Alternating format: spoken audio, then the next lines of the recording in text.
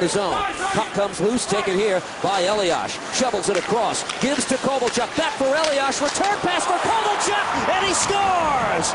Beautifully executed, and the Devils take the lead. Well, through the seam. Now here, Elias, little backhand dish, and you think, oh, Kovalchuk's going to shoot. No, Elias going to shoot. No, back to Ilya Kovalchuk for the wide open net.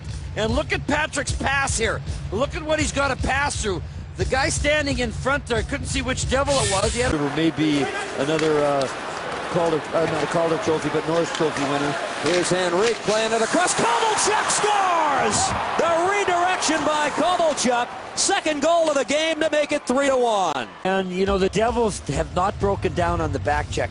That's the difference here. Watch right in the middle of your screen here. And that's Pominville. He kind of floats away. He floats away from Kovalchuk. But what a play by Ilya. You see the way he crossed over and put his stick there and said, now, Adam, if you could put it anywhere in this area, he's going to bang home that second. Parise, stop. Here's Kovalchuk again. Fires and scores!